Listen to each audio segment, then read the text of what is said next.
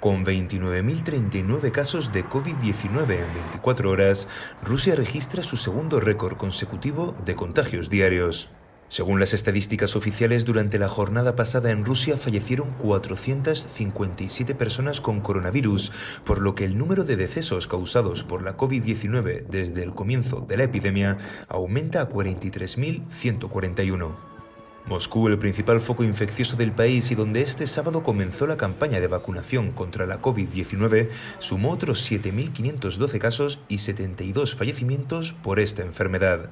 El alcalde de la capital rusa, Sergei Sobyanin, aseguró que está previsto que se vacunen hasta 7 millones de moscovitas y que se planea próximamente aumentar de 70 a 170 los centros de vacunación en toda la ciudad.